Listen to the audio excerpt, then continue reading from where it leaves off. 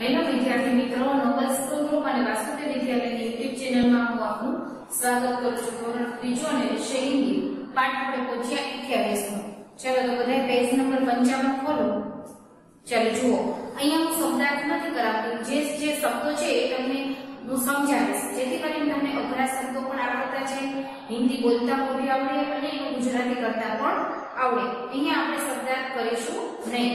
એવું લાગશે તો જરૂરી હશે એ હું તમને મોઢે કહીશ જેથી કરીને તમે હવે અઠ્યાવીસમાં પાઠ સુધી પહોંચી ગયા. તો હવે તમને ઘણું ખરું આવડવું જ જોઈએ. ને હિન્દી બધાને વાંચતા શીખવાનું છે ખાસ. પાઠ અઠ્યાવીસમો ગંદકી રોગો કી જળ. ગંદકી એટલે રોગોનું મૂળ. તો સાચી જ વાત છે ને? ગંદકી ફેલાય તો રોગચાળો ફેલાય. તો આપણે આપણા ઘરના આંગણા આપણું ઘર બધું કેવું રાખવું જોઈએ? સ્વચ્છ રાખવું જોઈએ. આ પાઠની અંદર જો તમારા જેવડા જે બાળકો છે, એને ઘણી બધી ખરાબ આદત છે, ઘણી ઘણી સારી આદત છે એવા બાળકો બતાવ્યા છે.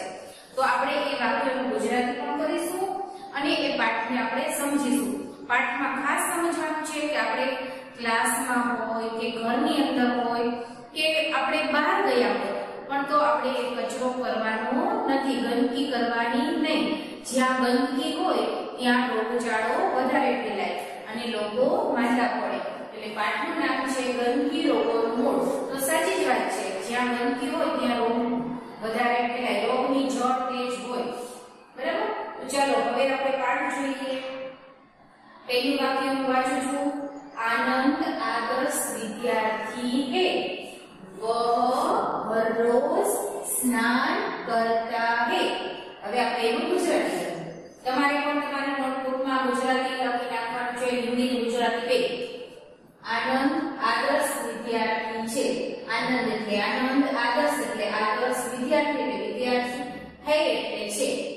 વહ હરોજ સ્નાન કરતા વહ એટલે તે હરોજ એટલે દરરોજ સ્નાન એટલે સ્નાન કરતા કે એટલે કરે છે. આ એનું આનંદ, આદર્શ વિદ્યાર્થી છે તે દરરોજ સ્નાન કરે છે. પછી, એના પછીની લીટી. ઉસે ચમડી કે રોગ નહીં હોતે. જો જે રોજ સ્નાન કરે ને એને ચામડીના રોગ થાય નહીં. તમે સ્નાન ન કરો, તમે રોજ નાવ નહીં, તો ચામડી ઉપર પસીનો અને મેલ બે ભેગા થાય અને તમારે માંદા પડી જાવ માંદગી આવે અને તમને ચામડીના રોગ થાય.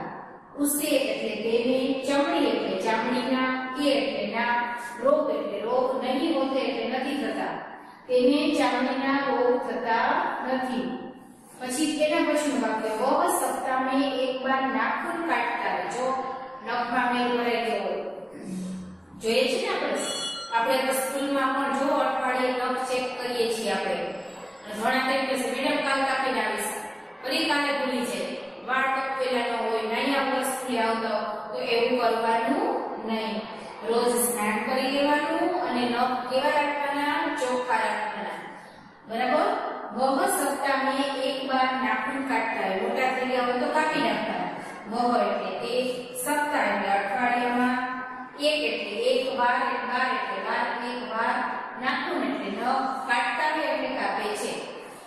તે અઠવાડિયામાં એક વાર નખ કાપે છે. પછી, એના પછી બીજો બીજી એક છોકરીનું કીધું છે. એનું નામ છે આનંદી.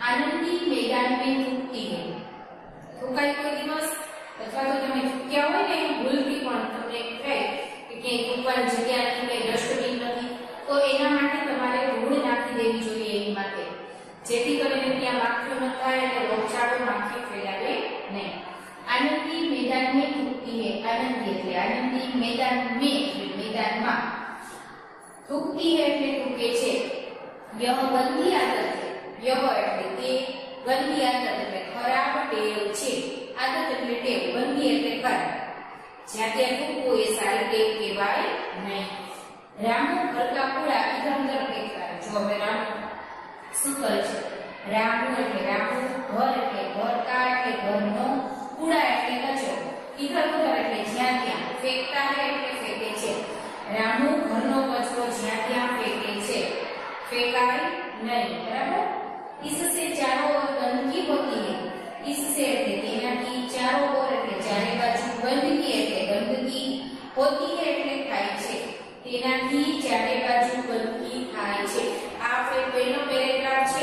પહેલું ગુજરાતી જોયું. એના પછીના પેરેગ્રાફનું ગુજરાતી. અહીંયા ન સમાવવાના કારણે મેં નેક્સ્ટ લેક્ચરમાં આપણે કરીશું. બે પેરેગ્રાફનું ગુજરાતી હવેના લેક્ચરમાં કરીશું. એના પછીના. બરાબર? ત્યાં સુધી આ તમે તમારી બુકમાં લખી લો. હિન્દી ગુજરાતી સાથે. બરાબર?